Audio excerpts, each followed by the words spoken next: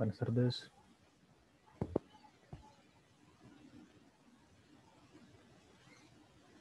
Ok, vamos a ver.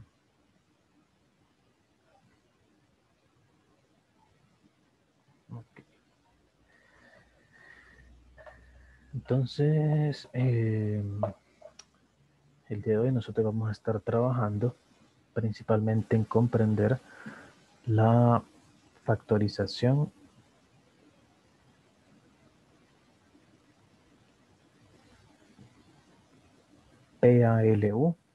Y vamos a mencionar brevemente la variante que es más completa, la PAQLU.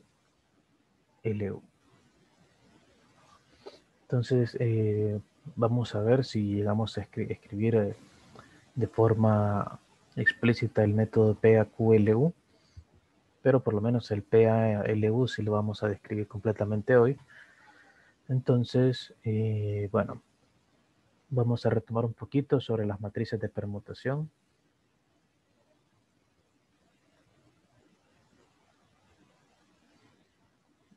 Las matrices de permutación nosotros habíamos visto que consisten en tomar la matriz identidad y permutar las filas que tenga, es decir, reordenar las filas de la matriz de identidad.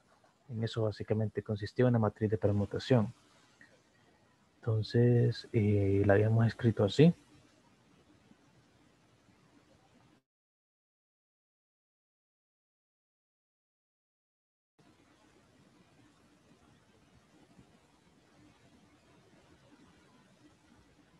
Así.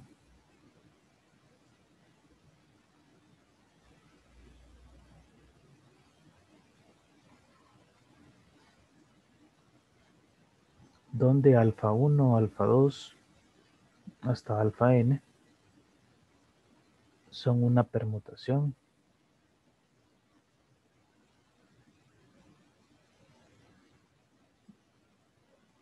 de estos números. Es decir, solo están reordenados y pues el orden en el que queden, el primero es alfa 1, el segundo es alfa 2 y así. Entonces, eh, nosotros tenemos que Uno de los principales efectos de multiplicar por la izquierda una matriz de permutación a una matriz normal era que nosotros íbamos a tener que, si la matriz P está dada por esta forma, entonces la primera fila de esta multiplicación va a ser la fila alfa 1 de A. Esa va a ser la primera fila de PA va a ser la fila alfa 1. Dependiendo de quién sea alfa 1, pues esa va a quedar ahí. La segunda fila va a ser la fila alfa 2 de A. Y así hasta la última, que sería la fila alfa n de A. Entonces, en esencia, al multiplicar la matriz de permutación por,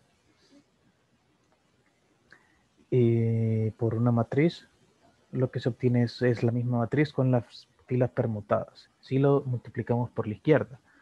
Ahora, ¿qué pasa si lo multiplicamos por derecha? Bueno, entonces resulta que si tenemos esta misma matriz, nosotros podemos escribirla como eh, vamos a ver.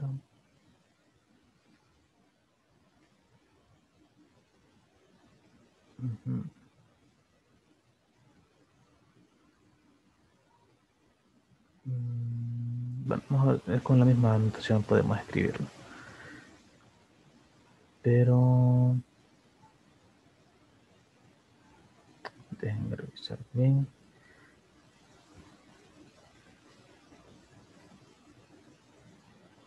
Ok.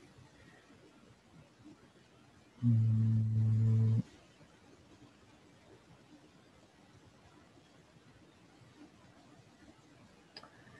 Entonces, si esta matriz P nosotros la observamos ahora en términos de sus columnas, o sea, si, si P nos viene dada de esta forma, voy a usar beta 1 aquí.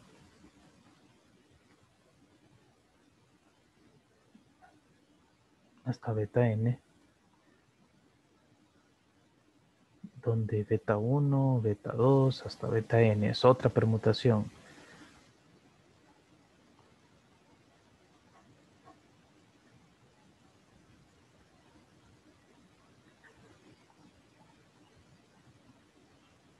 de los números desde 1 hasta n.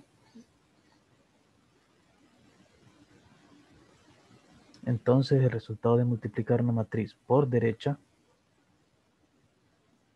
es simplemente una permutación de sus columnas.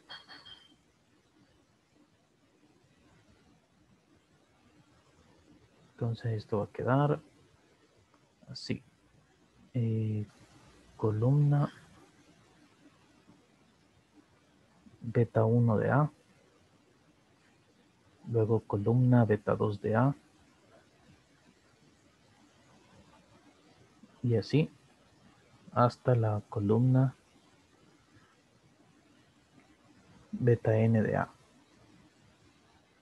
En otras palabras, si nosotros multiplicamos la matriz de permutación por la derecha de una matriz, lo que permuta en ese caso son las columnas. Entonces, a final de cuentas, la matriz de permutación multiplicada por la izquierda a una matriz permuta las filas y por derecha permuta las columnas. Eso es en sí lo que, eh, lo que nos interesa aquí.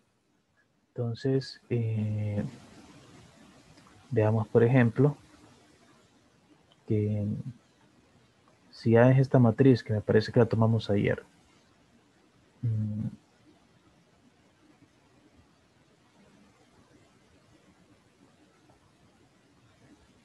Vamos a ver. Es...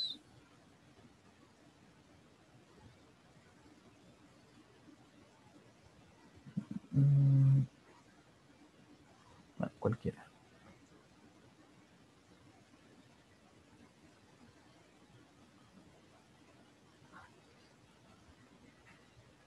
Y si tomamos a P igual a mm,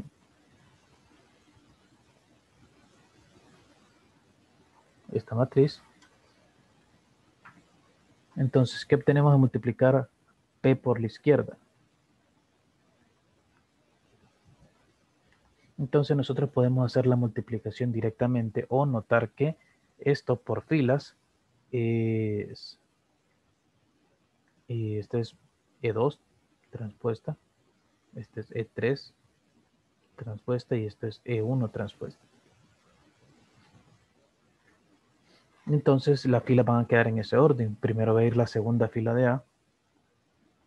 4, 5, 6. Luego va a ir la tercera fila de A. Y de tercero va a ir la primera fila de A. Y ahí está el cálculo sin, sin necesidad realmente de hacer la multiplicación. Y en cambio, si yo lo multiplico por derecha, entonces en lo que me tengo que fijar es que esta matriz de permutación por columnas, uno la puede ver como, esto es E3, aquí lo pongo sin transpuesta porque es columna, este es E1 y este es E2.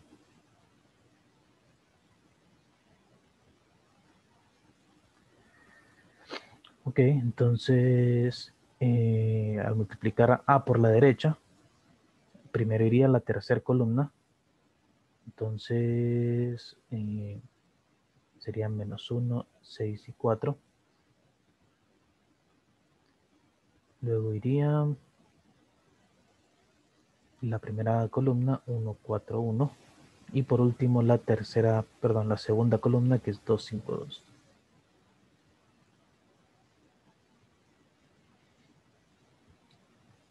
Entonces lo que me interesa aquí es que veamos que la misma matriz P de permutación eh, se puede ver tanto por filas como por columnas y los índices no, son necesariamente los mismos, por eso aquí yo los puse con nombre beta y aquí con nombre alfa, porque aunque sea la misma matriz, no necesariamente sean los mismos eh, índices. Entonces, eh, tenemos eso. Y pues un par de propiedades más.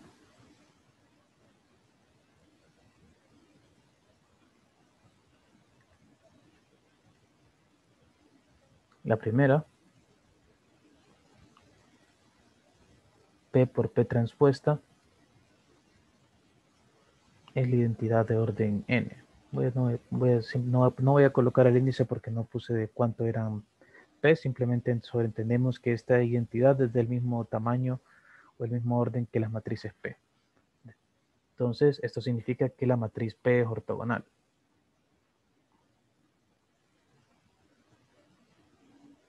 Que sea ortogonal implica que es invertible, eso ya lo habíamos visto ayer. Y eh, bueno, básicamente eso, que la inversa es la transpuesta. Y lo segundo es que el producto de matrices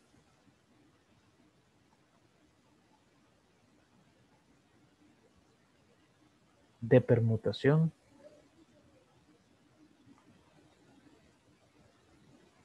es también matriz de permutación.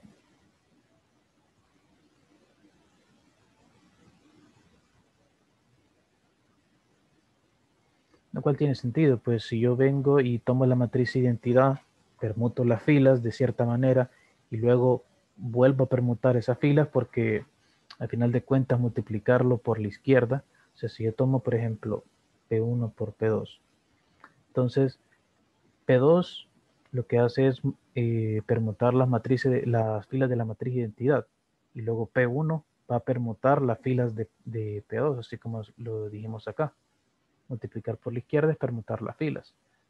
Entonces, si yo permuto las filas, que son las filas de la identidad permutada, simplemente voy a obtener otra permutación. Entonces, al final de cuentas, toda esta multiplicación va a ser una permutación de las filas de la identidad. Entonces, eh, listo. Esas son, son las dos propiedades principales que necesitamos eh, y vamos a ver.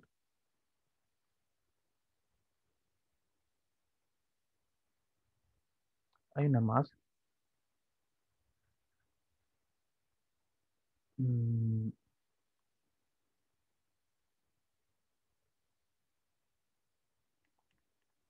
Si P es una matriz de permutación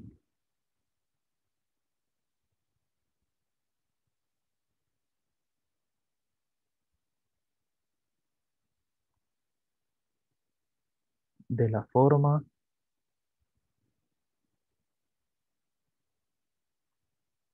y vamos a ponerlo así.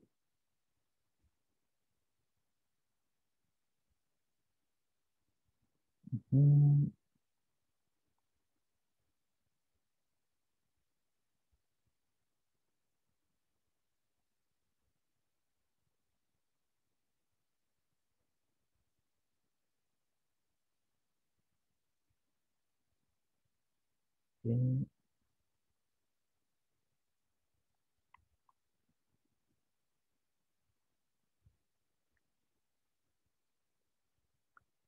P es una matriz de esta forma, en la que es prácticamente igual a la identidad.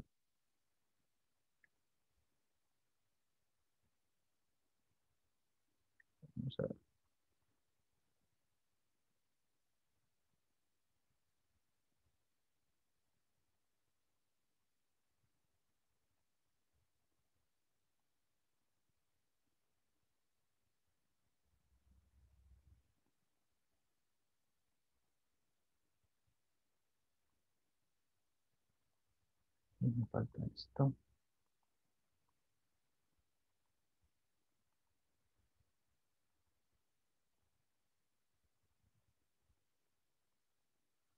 Entonces, eh, esta es la fila I, perdón, columna I, columna J, y esta es la fila I, fila J. Entonces, ¿qué pasa si la matriz P es una matriz de esta forma, en la cual solamente están intercambiados una fila y una columna? O mejor dicho, solo eh, tomamos un par de columnas, la intercambiamos, o tomamos un par de filas, la intercambiamos. Es lo mismo. Ya sé que intercambiamos las columnas o las filas, es el mismo resultado. Pero solamente dos. Todos los demás están exactamente igual. Entonces, ¿qué sucede? Si nosotros hacemos esto, entonces P es simétrica. ¿Esto qué implica?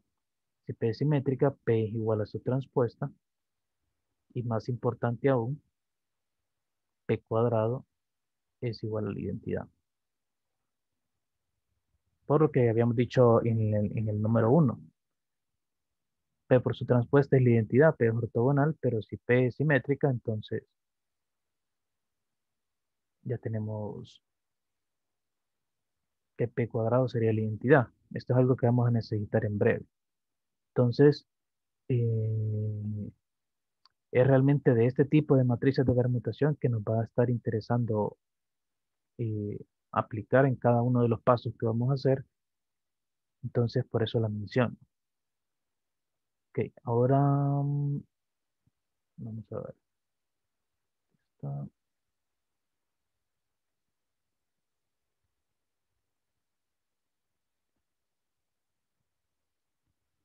Ok, entonces en, pues, en esta preliminar de matrices de permutación vamos a ver la eliminación de Gauss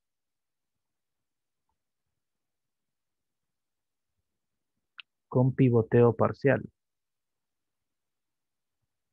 Entonces recordemos que el pivoteo era el proceso de cambiar de pivote para evitar tener de pivote a cero.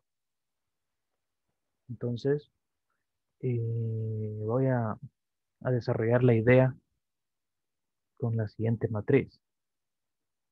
Entonces, tomamos una matriz de 4 por 4.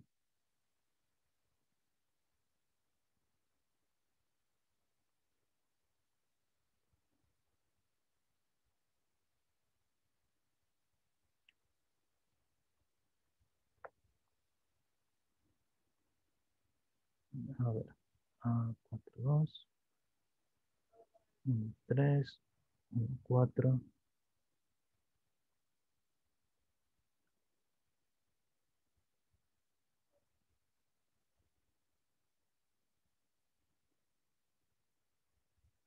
Ok, entonces, lo que nosotros queremos al final es que en ningún momento el pivote sea cero.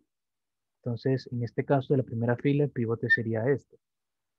Entonces, ¿de qué forma podemos nosotros, pensando en que esto, este procedimiento se va a poder programar, entonces, ¿de qué forma podemos nosotros asegurarnos de que este no va a ser cero? Entonces, podemos asegurarnos de que no va a ser cero eh,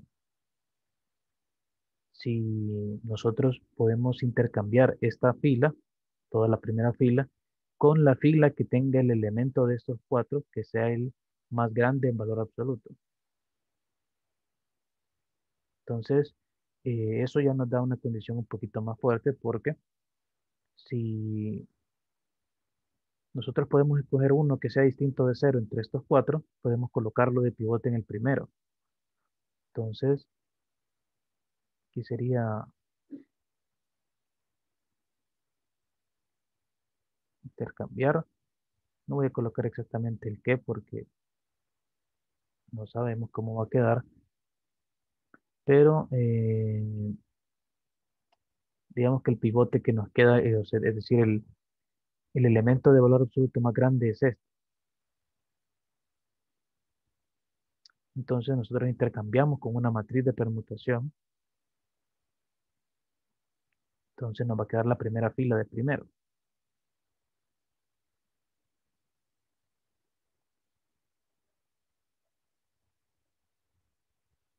Y de ahí pues todo lo demás va a quedar, eh, va a quedar igual. Vamos a ver.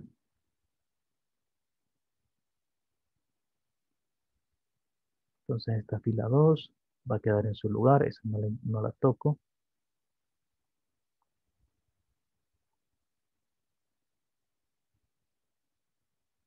No la voy a hacer más.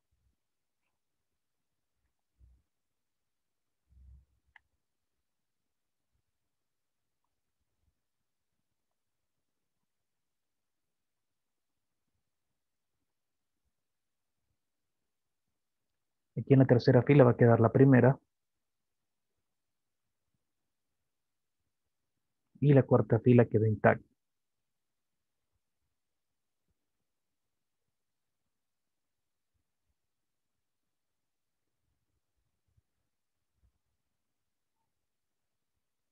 Ok, ahora lo que tenemos asegurado es que este, este pivote que vamos a utilizar aquí no es cero. Entonces, eh, podemos aplicar el proceso de, de eliminación de Gauss normal. Entonces,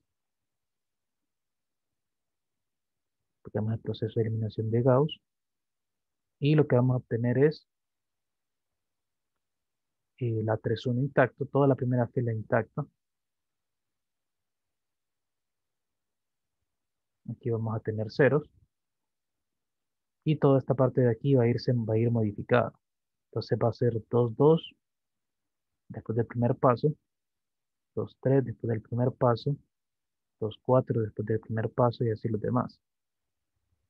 Eh, solo que aquí hay que tener cuidado porque ahora es el, el que, que empezó como 1, 2, pero es la versión modificada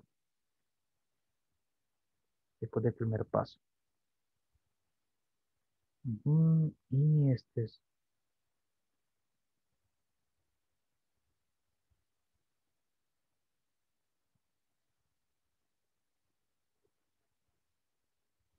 Ok.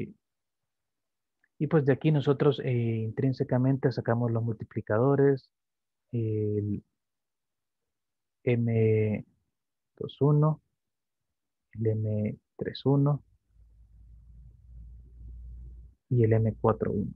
Eso lo sacamos para hacer cero gestos. Ahora hacemos lo mismo de antes. Eh, vamos a trabajar ahora con esta submatriz de acá. O sea, prácticamente se hace esta división por bloques. Trabajamos con esta submatriz de aquí pero vamos a hacer el mismo procedimiento que hicimos antes. Nosotros tenemos que asegurarnos de que el pivote no va a ser cero.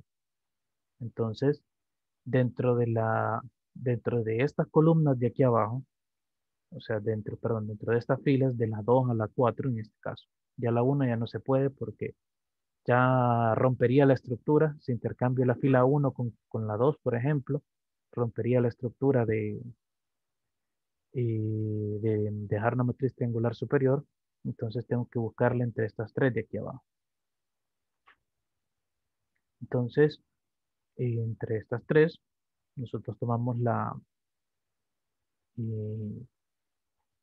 la del valor absoluto más grande, digamos este, luego intercambiamos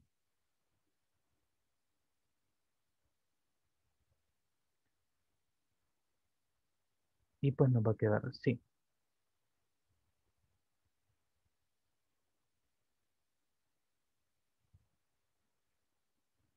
Entonces la primera fila va a quedar tal y como estaba. La primera columna también.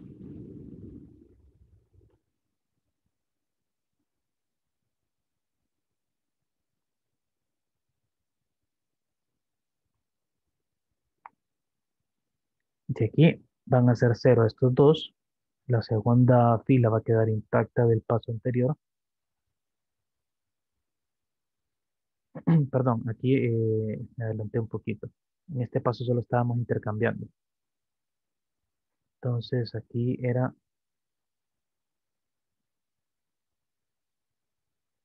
cambiar la fila 4 con la 2.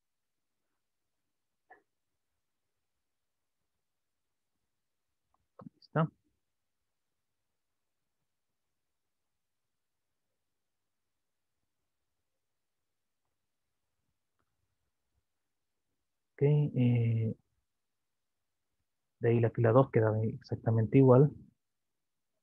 Bueno, la fila 2 de la submatriz, o sea, sería la fila 3.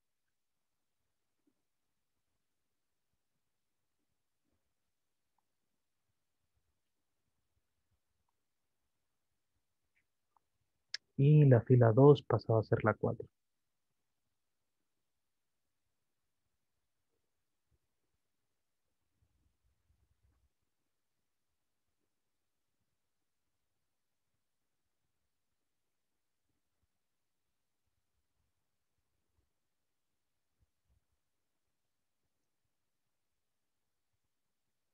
Y a partir de aquí lo que seguía era hacer el proceso de eliminación de Gauss para que nos quede algo así.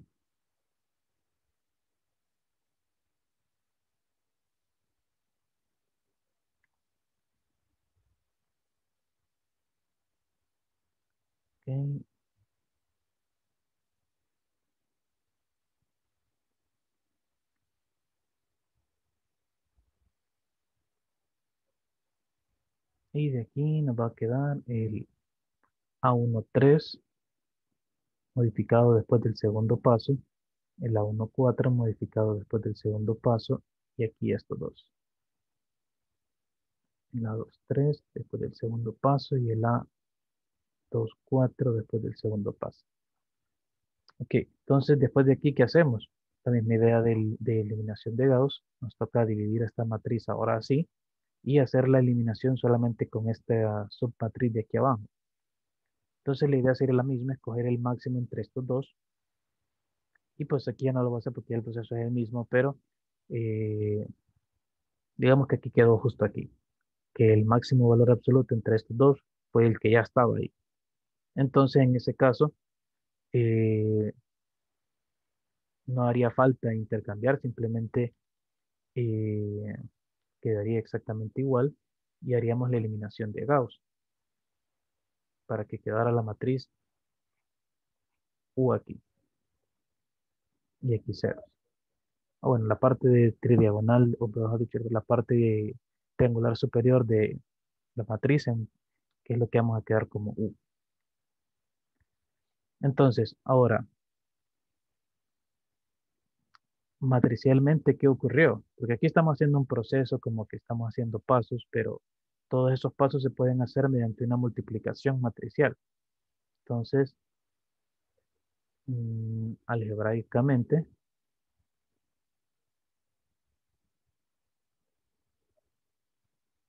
nosotros partimos con A. Luego, eh, esta matriz A lo que hicimos fue un intercambio. Entonces, realmente lo que hicimos fue eh, un intercambio de filas. Entonces, multiplicamos por una matriz de permutación. Vamos a llamarla P1. Y eso va a ser esta matriz ya, ya permutada. Esta de aquí. Luego a esta matriz le aplicamos el proceso de eliminación de Gauss. El proceso de eliminación de Gauss consiste en multiplicarle por la izquierda una matriz elemental M1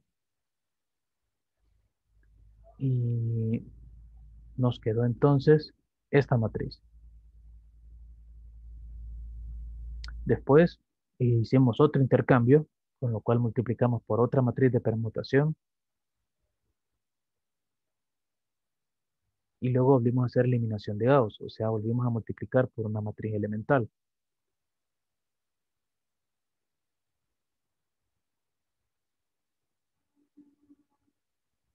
Eh, luego técnicamente volvimos a hacer otra, eh, otra eliminación de Gauss porque ya estaban en el orden, pero de hecho, aunque no le hemos mencionado, la matriz identidad es una matriz de permutación. Es una la matriz de permutación que consiste en que los números del 1 al n quedan exactamente en el mismo orden. Entonces, aquí, solo para fines de construir una fórmula general, voy a, voy a multiplicar esto por un P3, que en el ejemplo que les estoy dando era la identidad, pero es una matriz de permutación, y luego aplicamos eliminación de Gauss, que sería multiplicar por otra matriz elemental. Entonces, al final de cuentas, con todo esto, lo que nos quedó fue la matriz U. Entonces, ¿cuál es el desafío ahora? El desafío ahora es, ya tengo esta forma de escribir, eh, esta forma de escribir a U. Y yo podría hacer la inversión de todo esto de aquí, pero recuerden que estamos buscando una factorización de la forma PALU. Entonces, estamos buscando una forma, una factorización de este tipo, donde esta sea triangular superior, esta sea triangular inferior, y esta sea una matriz de permutación.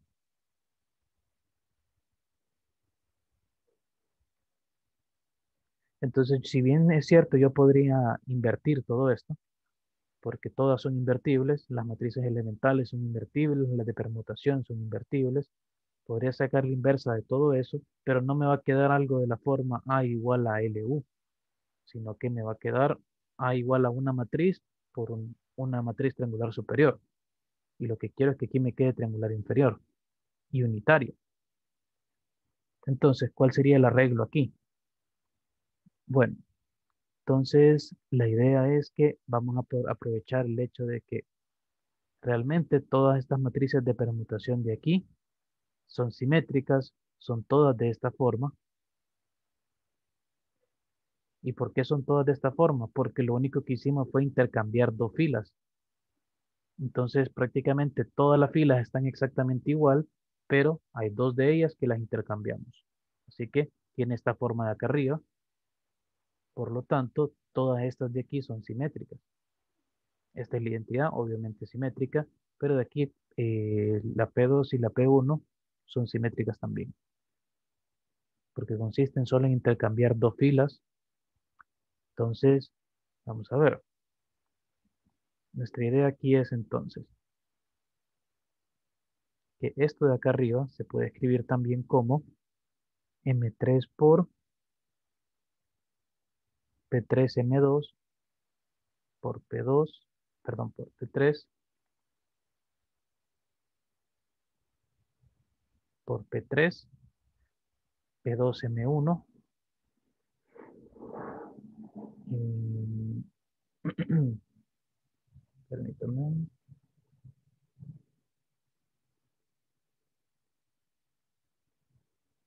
Mm. Por P2 por P3 por P3, P2, P1 por A. Eso sigue siendo U. ¿Por qué? Aquí yo tengo multiplicado P3 por P3, e, eso es la identidad, entonces no lo cambia. Aquí yo tengo multiplicado P3 por P3 otra vez, eso es la identidad. Y una vez esto quede la identidad, me van a quedar multiplicadas P2 con P2. Eso es otra vez la identidad. Así que eh, en sí no ha alterado el producto. De manera que ya no sea la misma U. Va a seguir siendo la misma U, pero escrito de esta forma, resulta que nos quedan un M3, que le voy a llamar prima solo por eh, lo siguiente, de ahí a todo esto, le voy a llamar M2 prima, a poner centrado, a todo esto, lo voy a llamar M1 prima, y a esta multiplicación o esta multiplicación de tres matrices de permutación la voy a llamar P.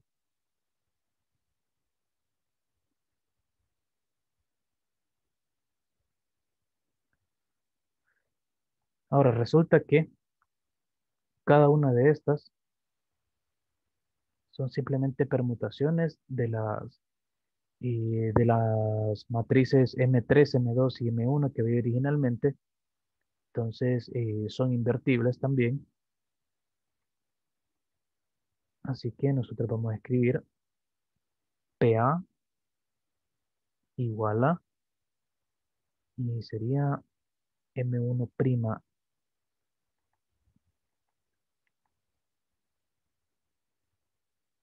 inversa, M2' inversa, M3' inversa, por U. Entonces aquí lo que hice fue primero invertir M3, entonces queda M3 por U, de ahí invertimos M2, entonces queda M2 multiplicando a esto, lo que había antes, y por último el M1. O sea, fuimos multiplicando la inversa de cada una de las matrices M3 por M2 por M1 en ese orden. Entonces, para cancelar estas de aquí, que me quedaran aquí al lado izquierdo. ¿Y ahora qué resulta? Resulta que todo esto termina siendo una matriz triangular inferior. Y ahí está la factorización LU. Si bien es cierto, aquí lo hice solo con 3, para tamaño n quedaría así.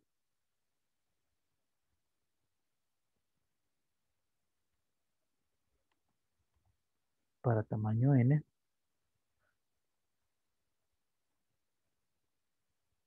mm, Solo, no, de hecho, solo que aquí no lo dice para tamaño 3, será para tamaño 4. Entonces, para tamaño n, podemos escribir, o podemos hacer la factorización PALU, siempre y cuando eh, P va a estar dado por quién. Y si se fijan acá arriba, son las multiplicaciones de todas las matrices de permutación que fuimos construyendo en eh, orden decreciente. Y hay uno menos del tamaño de la matriz, de las matrices. Entonces, P sub n menos 1, P sub n menos 2, y así, hasta P sub 3, P sub 2 y P sub 1. Esa es la matriz P. La matriz L es M1' inversa, M2' inversa, y así hasta M sub n menos 1 prima inversa. La matriz U es la que surge de todo el proceso, o sea, es la matriz en la que nos obtenemos, y MJ prima, o sea, para ver la forma de estos M primas de aquí, y como podemos observar de aquí arriba, es básicamente la M en medio y luego va multiplicada por la matriz de permutación. Entonces, eh, vamos a ver. En medio va a ir MJ.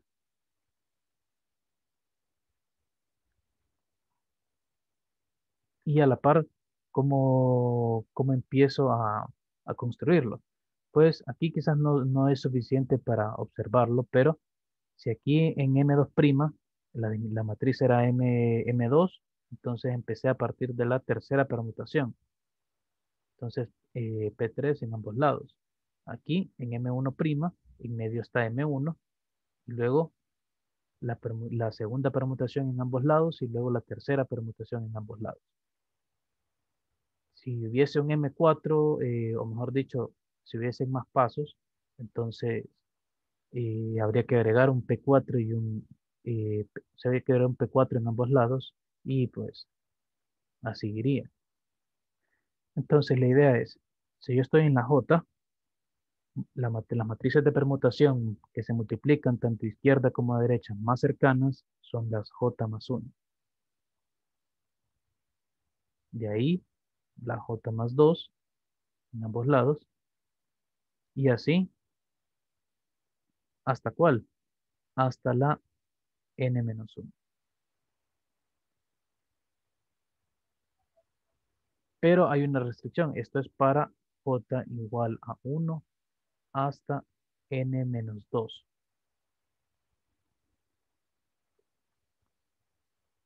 Entonces, eh, ¿quién sería n menos 1 prima? Es decir, la que está fuera del rango aquí. Pues esa es simplemente m, n menos 1, sin modificar. Ok, entonces eh, así, así, haríamos la factorización PALU para... ¿Sí?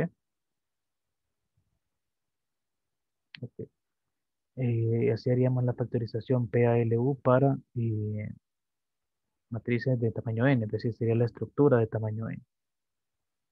Entonces, eh, vamos a desarrollar un ejemplo para poner los pies sobre la tierra y poderlo intentar calcular, porque así de, de primera mano parece un poco confuso. Entonces vamos a aterrizarlo.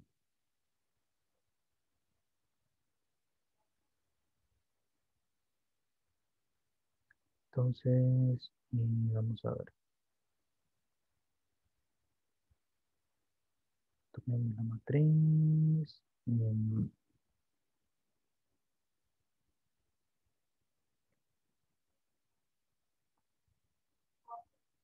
la matriz 2, 2, 3, 4, 5, 6 y 1, 2, 4.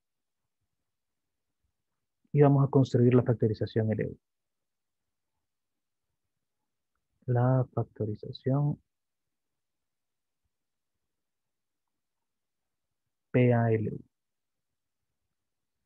Ahora, eh, antes de construirla, suelo hacer un comentario rápido y es que en todo este desarrollo de la, eh, de la factorización PALU, partimos de un supuesto que estaba implícito y es que eh, en ningún momento este, todas las en ningún momento de, todas las opciones que tenía que tener aquí, estas eran todas, era, había por lo menos una distinto de cero. Entonces, es decir, la fila no era completamente nula. Y lo mismo pasaba acá. Aquí necesitábamos que todos estos tres no fuesen cero para poder elegir el que tuviese mayor valor absoluto, igual aquí. Entonces, eh, el único que podría haber sido cero es este. Entonces, prácticamente la única restricción para que exista esta factorización es que la matriz sea de rango n-1. Es prácticamente la, la, la restricción. Es decir, que hayan eh, tres filas linealmente independientes. Entonces la cuarta podría ser una fila de cero sin problema. Eso no nos afecta. Eh, lo que afectaría en este caso sería eh, que fuese única la factorización, porque la matriz no, es invertible, pero entonces ya es una, una petición un poco menos fuerte que la que teníamos antes. Para la existencia de la factorización LU ocupábamos que todas las submatrices o todas las menores principales fuesen invertibles hasta la n-1. Aquí solo ocupamos que la matriz sea de rango n-1. Es todo lo que ocupamos. Em, vamos a ver. Igual voy a revisar más a fondo esta, ese criterio porque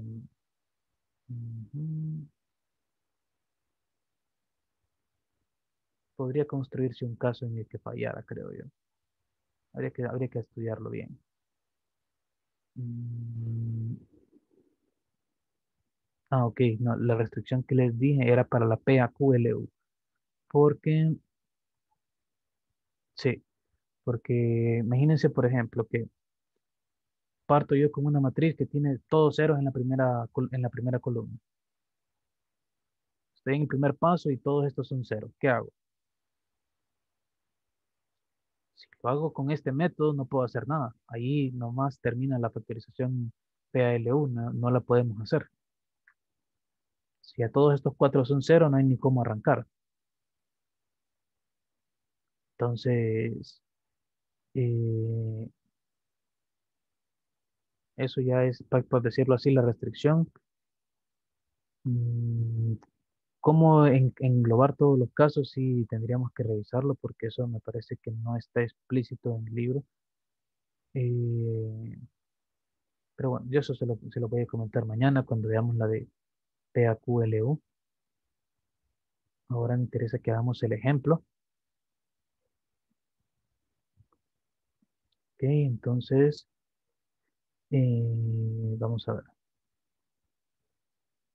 Partimos de esta matriz.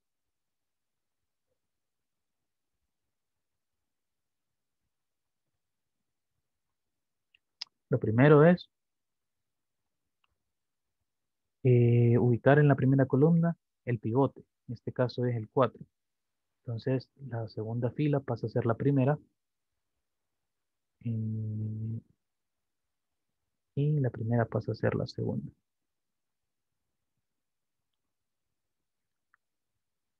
Entonces, aquí técnicamente multiplicamos la matriz por la matriz de permutación, que la tercera fila la deja igual y solamente intercambia las primeras dos. Entonces aquí voy a tener así y así. Ok. Eh, esta es nuestra P1. Ok, ahora eh, el siguiente paso es hacer cero estos dos. Entonces ocupamos los multiplicadores. El M21, que sería mm, menos 2 entre 4, menos 1 medio. Y el M31, que sería menos un cuarto. Entonces, con esto tendríamos aquí 4, 0, 0, 5, 6 y actualizamos estos de aquí. Entonces, en, en la entrada 2, 2 sería 2 menos 5 medios. Entonces, eh, eso sería menos un medio.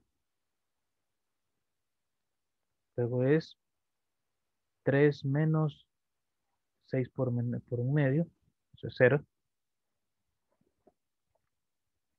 Y ahí tenemos 2 menos, un, eh, menos 5 cuartos. A ver, eso es 3 medios. Perdón, 3 cuartos. Y por último sería 4 menos 6 sobre 4. Esos son 3 medios. Serían 5... No, perdón, eso sería 5 medios, ¿verdad? Sí. Ok. Entonces, de aquí, ¿qué tenemos? Permítame. Ok. De aquí, ¿cuál es el siguiente paso? Pues de estos dos de aquí, seleccionar el de valor absoluto más grande, que es este. Entonces toca hacer de nuevo una permutación de la segunda y tercera fila. A ver, entonces va a quedar aquí 3 cuartos, 5 medios, y aquí 0 menos un medio 0. Entonces la matriz P2 que se utilizó aquí fue la primera fila intacta e intercambiar la segunda con la tercera. Ok. Eh, luego, Eliminación de Gauss. Entonces esta fila queda igual. Este se hace 0 con el multiplicador M32, que sería menos negativo un medio entre 3 cuartos. Esto, esto es 2 tercios, ¿verdad?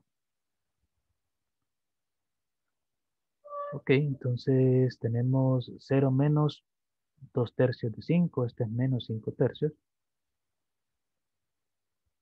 Y ahí está. Ya tenemos U. Ahora, ¿cómo construimos P? P no les había, les había dicho que P era,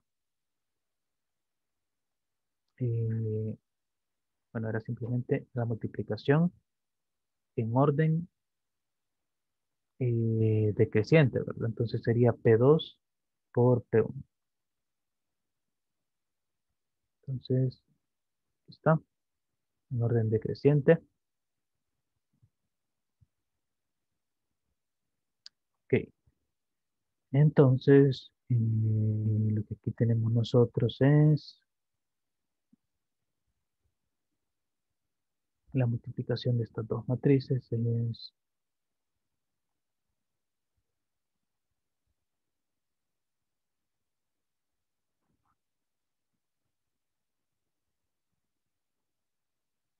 Este es P1, así que estaba a la derecha.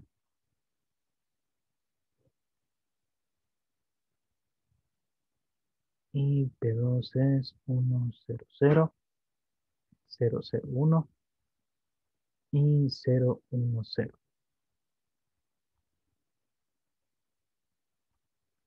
Entonces podemos multiplicar las matrices o simplemente eh, analizarlo como antes. Estoy multiplicando P2 por esta matriz entonces aquí me dice que la, eh, la primera fila es la misma. Entonces multiplico aquí por la izquierda. Entonces, la primera fila es la misma. Y la segunda y tercera fila intercambian. Entonces,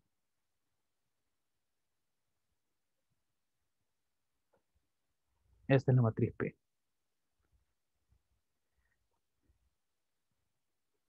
Y lo que nos resta encontrar entonces es la matriz L.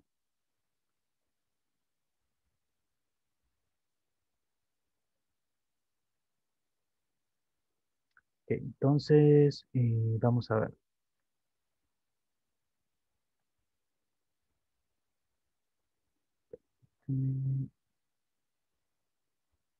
Mm, tengo una cosita.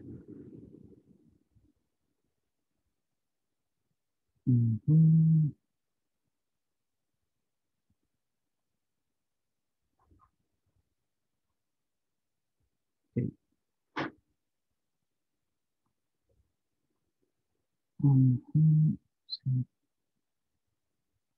Solo déjenme revisar una cosita aquí.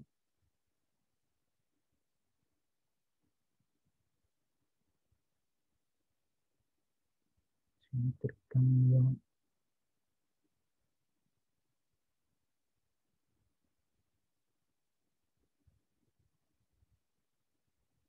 Ok,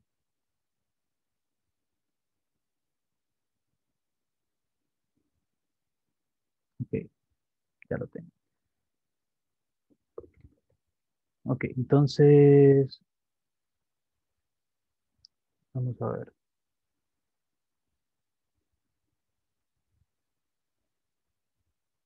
Mm.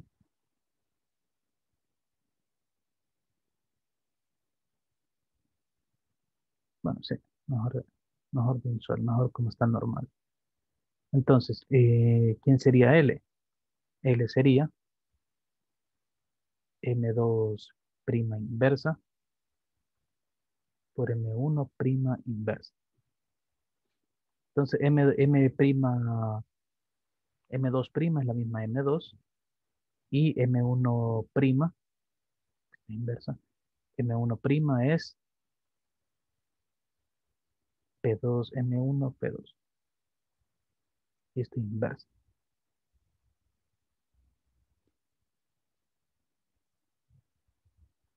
Ok. Y eh, como la matriz P2 es simétrica, entonces eso mismo inversa. Entonces lo que nos queda aquí es esto.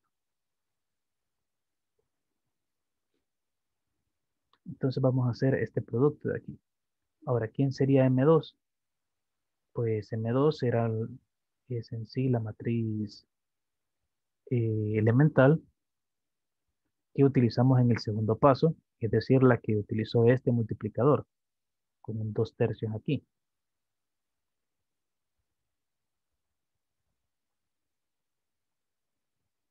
Inversa. De ahí la matriz P2 que era 1, 0, 0, 0, 0, 1 y 0, 1, 0. De ahí la M1, que era la matriz elemental, que utilizó los primeros dos multiplicadores, que eran estos, menos un medio y menos un cuarto.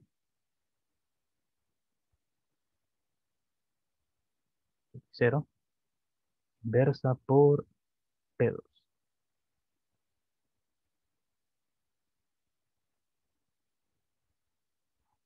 Entonces recordemos que invertir las matrices elementales era sencillo, era simplemente cambiar el signo del multiplicador.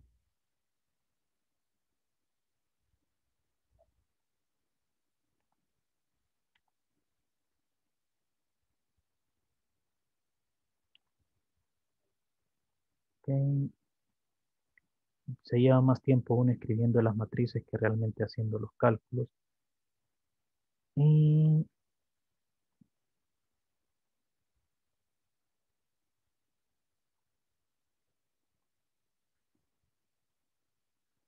tenemos esto.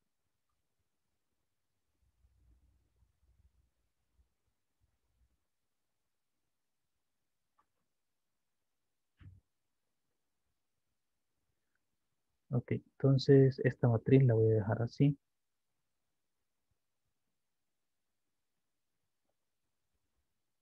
Esto también.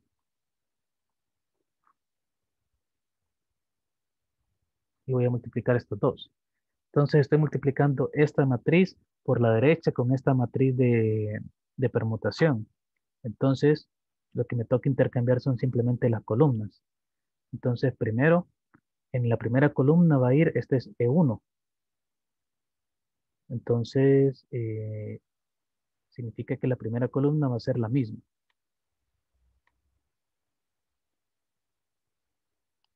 De aquí, esto es E3.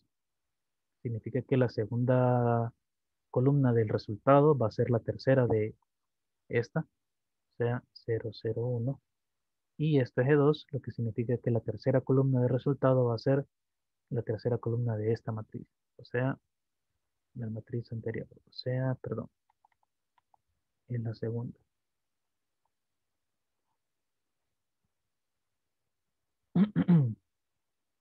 ok. Y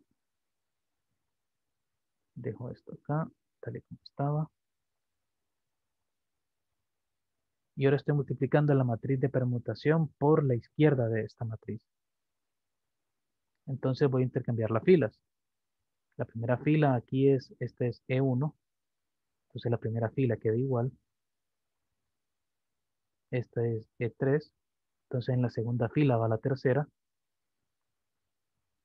Y esta es E2. Entonces en la tercera fila va la segunda.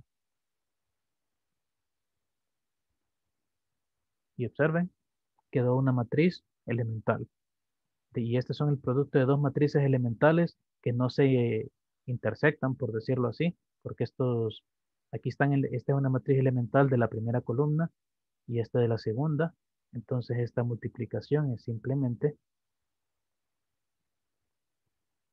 a ver, es un cuarto, un medio, 0, 1 menos 2 tercios, 0, 0, 1. Entonces, observen qué fue lo que pasó en realidad, para verlo resumido. Y con esto terminamos.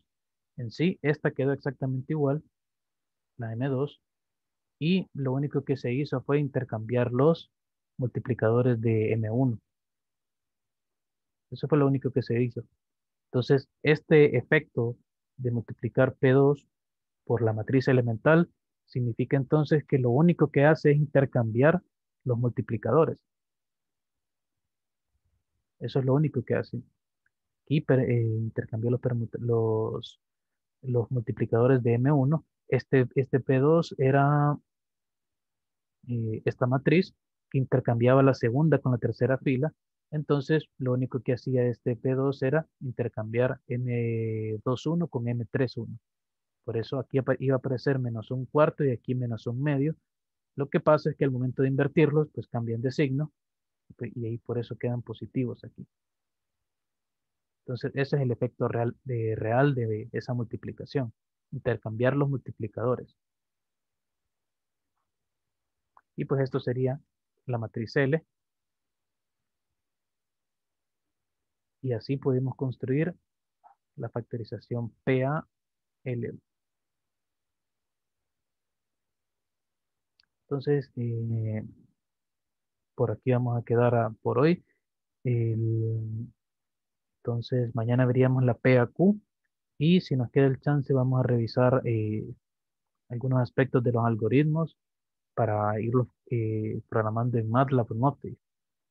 Entonces, por aquí vamos a quedar por hoy.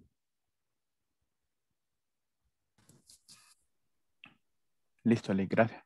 Listo, entonces, tengan feliz tarde. Sigamos mañana. Igual, feliz tarde. Gracias.